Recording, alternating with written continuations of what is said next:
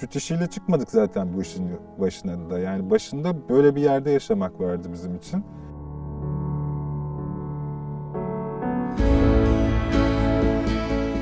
Biz bu işi e, yani ilk sene böyle fazla duygusallaşarak geçirdik. O da bizi fena çarptı.